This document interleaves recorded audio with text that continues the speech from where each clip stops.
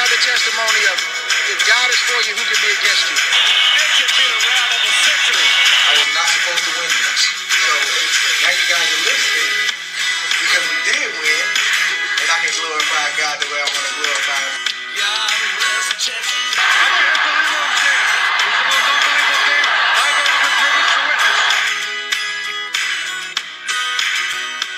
Welcome, welcome, welcome, welcome to another episode of 3D Boxing Podcast.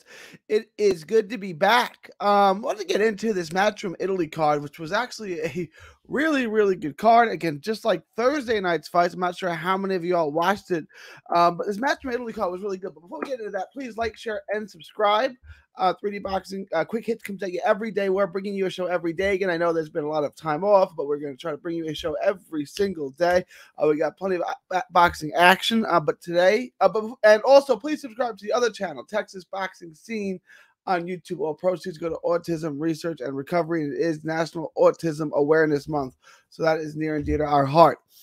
All right, let's get into this uh, Matchroom Italy card, which was actually, like I said, a, a, a really good card. It was headlined by 26 year old Ivan Zucco. Look, if it's been a while, um, you know, I, I know Gatti fought for uh,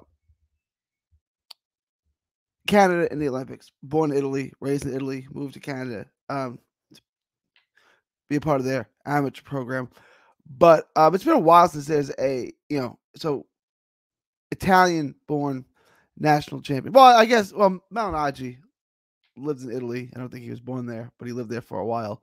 Um, if there's going to be one soon, if there's going to be one at some point, it's going to be Ivan Zucco. Um, six foot tall, almost six one, super middleweight, southpaw, heavy handed, heavy fisted. Um, really, really, really excellent performance um, against a, a, a quality opponent in Marko Nikolic. Um, 28 and 1. Didn't have the deepest resume, but not a bad fighter. Um, not not a, n- n- not terrible by by any means. Um, you know, he's in there, he did his thing, he's he's okay. Uh, but there's something here, and I, I I don't know that I'm going to do a scouting report on, on Zucco. He was a prospect of the month um, a while back. He's a good looking, good looking prospect. Um, really, he's not the most athletic, um, and he's, but he's got good footwork. Like he's good on his feet for a, a guy that's not a great mover. You know, that's not really quick. Um, he's got excellent timing. He he likes to come forward. He's really really strong. Um, he's, he's heavy. He's heavy handed. He's physically freakishly strong, and he likes to come forward. But he also is a good counterpuncher, specifically with the left hook, which looks awkward, but he has really really good timing on it. Right, so his footwork is good. His timing is really good. There's a lot to like about him. There's a lot of things he does really well, and then obviously there's, the power.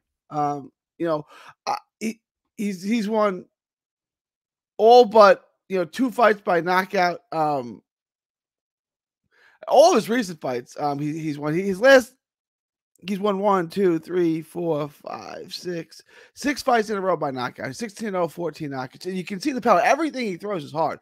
Um, you know, and, and you know, after uh, a pretty uneventful first round where he was winning with the jab, you know, and, and then a couple of left hands behind it, um, he got rocked right before the end of the first round with an uppercut, um, a right uppercut um, by uh, Nikolic.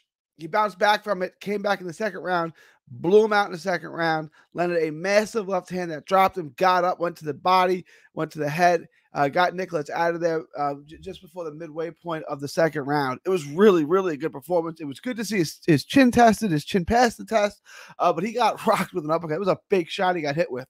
Um, you know, he does lean in a bit. There's things he does wrong, so that's why the, the scouting report, which we're going to do sometime in the near future on um on um 3D boxing blog. So check that out when when it's up. Um, but there's a lot of good things here with Nicholas. Um, there's going to be an Italian world champion in the in, in, you know, in this kind of crop of fighters, it's going to be this kid. I, I don't think Turchi's going to get there, and then we can get to the older guys. They're not going to become world champions. Uh, but 168 pounds, Zucco's the real deal. Um, on the undercard, you had Mirko not Natalizi, um, 11 0, 154 pounder. Looks good. You know, he got rid of Rico R- Rico Mueller, pretty dominant fashion. Um, not much to, to write home about. I mean, it was it was kind of an uneventful fight where Mirko just kind of dominated the fight. Uh, and then before that, you had uh, Francisco Grandelli, which took a really really interesting fight, a really interesting fight with with Kane Baker. Um, Kane, Cain Baker is from uh, the UK. Um, really interesting fight. Uh, you know, if Baker could hit, which he can't, he'd be a good fighter. Unfortunately, he can't hit. Um, but Grandelli, you know, sees the day, scored some knockdowns, got you know, um, looked looked like he was in trouble for for a moment, but you know, but su- survived, um, and and, and advanced on. Uh, but really, you got three pretty good Italian prospects too. Um, I, I think we're going to do just fine at the European level.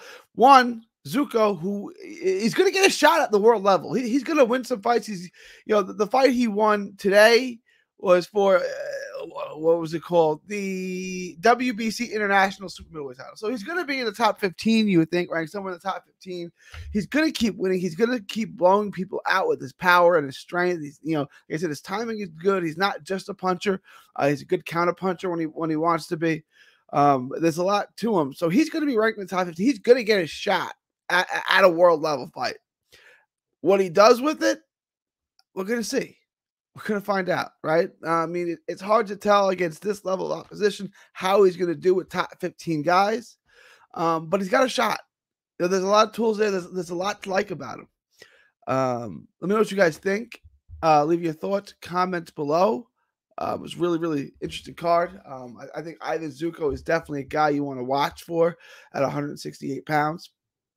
Um, you know what you guys think? Did you guys watch the fight? Did anyone watch the Matchroom Italy card? If you didn't, if you did, let me know. I'm assuming most of y'all didn't watch it. You guys don't know, you know, obviously not just a uh, Texan, which I am, also a first generation Italian immigrant, uh, first generation. Yeah, first generation. Uh, I speak some Italian. Let me know what you guys think. Leave your thoughts, comments below.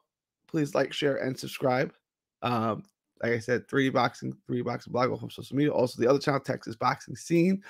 Um, all proceeds from that channel go to Autism Research and Recovery, and it is Autism Awareness Month. Uh, it is April 22nd, 2022. From Texas to the world, thank you and God bless. Don't miss a tweet, post, story, or video. 3D Boxing is on Twitter, Instagram, and Facebook.